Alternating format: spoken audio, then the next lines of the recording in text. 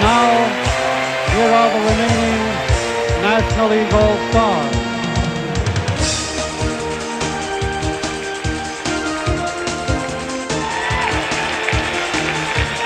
From the Chicago Cubs, outfielder Jerry Morales,